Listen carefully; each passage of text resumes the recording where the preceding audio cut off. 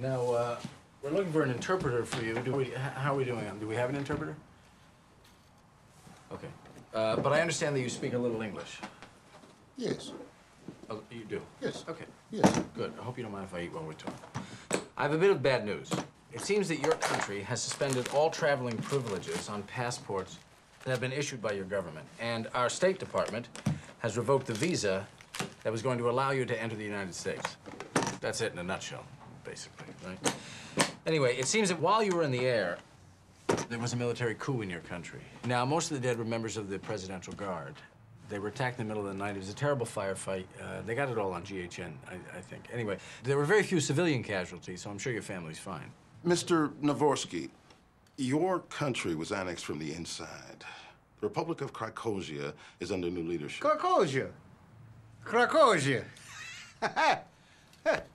Krakozhia. Right. I don't think. Uh, I don't think he, he gets it. Okay. Uh, let me. Let me. Okay. Look. Imagine that these potato chips are Krakozhia. Uh. okay.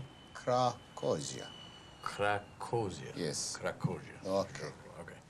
Uh, so the potato chips are Krakozhia. Okay. Okay. Uh, and this apple, Big apple. Big apple. the Big Apple, represents the Liberty Rebels. Okay. No more Krakozhia. Okay. New government. Revolution. You understand? So all the flights in and out of your country have been suspended indefinitely. And the new government has sealed all the borders, which means that your passport and visa are no longer valid. So currently, you are a citizen of nowhere. Now, even if we could get you new papers, we couldn't process them until the United States recognizes your country's new diplomatic reclassification. Yeah, see, you don't qualify for asylum, refugee status, temporary protective status, humanitarian parole, or non immigration work travel or diplomatic visas. You don't qualify for any of these things. You are at this time simply unacceptable. Unacceptable. Unacceptable. Unacceptable. Big Apple tour include Brooklyn Bridge, Empire State, Broadway show, Cats.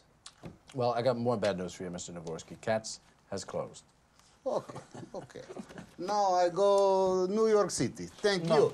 Mr. Navorski, look, I cannot allow you to enter the United States at this time. Uh, Krakozhia. Uh, we can't allow you to go home either. Right. course. And the thing is, you don't really have a home. Yes. You don't. Technically, it doesn't exist. I mean, it's a, it's like a it's like a Twilight Zone. Do you ever see that show? Yes. Huh? Did you get that show over there? Yes, yes. Uh, Talking Tina, Nightmare at thirty thousand feet, Zanti Misfits. But uh, Zanti Misfits, that's Outer Limits, sir.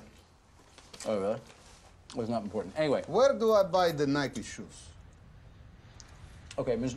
Mr. Navorski, come here. Walk with me. Here's my dilemma, Mr. Navorski. You have no legal right to enter the United States, and I have no legal right to detain you. It seems that you have fallen through a small crack in the system. I am correct. Yes. So, until we get this sorted out, I have no choice but to allow you to enter the International Transit Lounge. All right? So, I'm going to sign a release form that is going to make you a free man. Free. Free. Free. Free. Free to go anywhere you like within the confines of the International Transit Lounge. Okay? Okay, Okay. okay, Okay. okay. I'm sure that Uncle Sam will have this all sorted out by tomorrow and welcomes the United States. Almost. Thank you. Okay. All right. Okay. Thanks, sir.